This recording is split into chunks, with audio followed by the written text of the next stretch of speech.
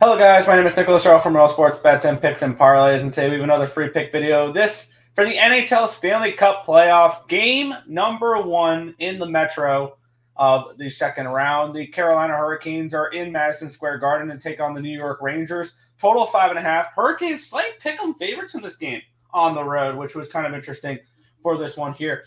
We have the New York Rangers coming into this game uh, off of a sweep. They won four in a row against Washington with really not too much of a trouble 4 1, 4 3, 3 1, 4 2.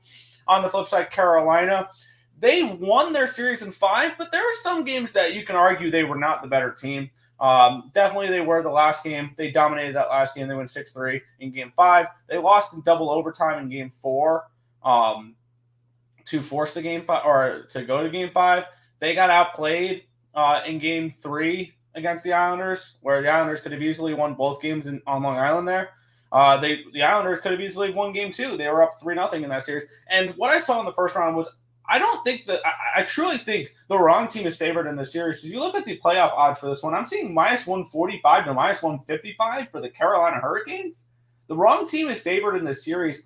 And I'm going to take the New York Rangers to get it started on the at home here in this series with the win. I, I like this Rangers team. They're they were the President's Trophy winners. I get it. There's the President's Trophy curse and things along those lines. But when I looked at the series, I don't think that the, the Hurricanes should be favorites in the series, especially at, on the road. Maybe when we head back to PNC Arena for game three, I'll look at Carolina then, maybe. Uh, but I like New York to take care of business here in game number one uh, in Madison Square Garden. So we're going to go with the Rangers minus the 105 when they take on the Hurricanes for game number one.